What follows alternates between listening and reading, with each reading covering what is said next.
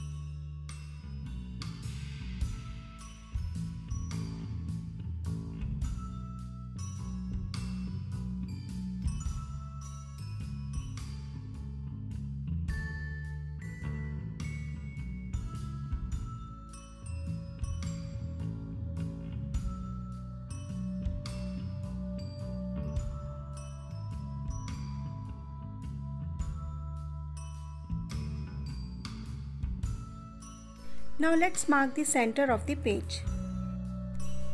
The outer circle radius is 6 cm and inner circle radius is 5 cm.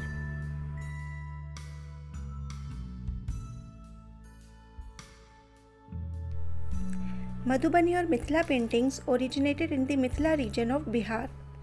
Traditionally, the paintings were done on plastered mud wall Nowadays, it is done on handmade paper, canvas, fabrics, and mud pots.